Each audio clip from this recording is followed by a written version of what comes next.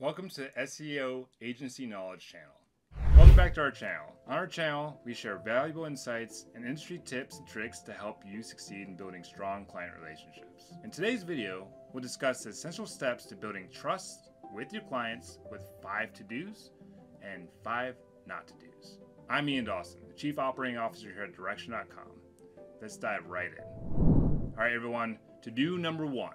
It's very important to establish open lines of communication. Communication is honestly key in any successful relationship, and the same holds true for client relationships. Make sure you establish these open lines of communication with your clients right from the start. This ensures that you can promptly address their concerns and respond to their needs. To do number two, it's important to set clear expectations. This builds trust, and it's crucial to be transparent about the services you provide and how the process will work. Be clear and upfront with communication to eliminate misunderstandings and establish a solid foundation for trust. To do number three, be responsive. When a client reaches out to you, it's essential to respond promptly. This shows that you value their time and their business. Timely responses make clients feel important and also build trust. To do number four, provide regular updates. Keeping clients informed about the status of their project or service is crucial. Regular updates not only build trust, but also prevent uncertainty and reinforce your commitment to their success. To do number five, be proactive. Don't wait for your clients to reach out to you. Take the initiative to check in, provide updates, or offer support. Being proactive demonstrates your dedication to their satisfaction and strengthens the trust they have in your services. All right, everyone, now that we've discussed the to dos, we're going to discuss not to dos. Do not do number one. Don't be dismissive.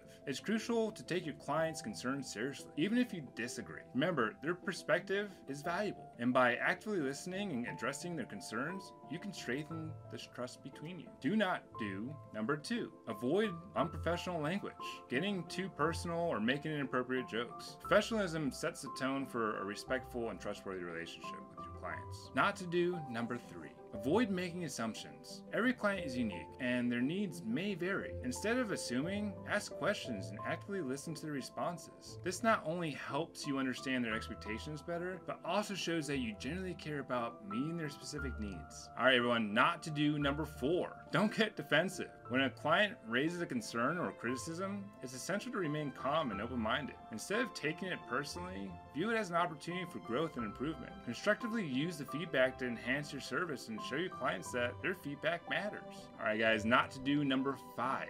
Don't overpromise. It's better to underpromise and overdeliver than to make promises you can't keep. Be realistic about what you can deliver within an agreed upon time frame. Overpromising may lead to disappointment and erode the trust you've worked so hard to build. Alright, by following these to dos and avoiding the do not dos, you'll be well on your way to building trust with your clients. Remember, trust is the foundation of a successful and long lasting relationship.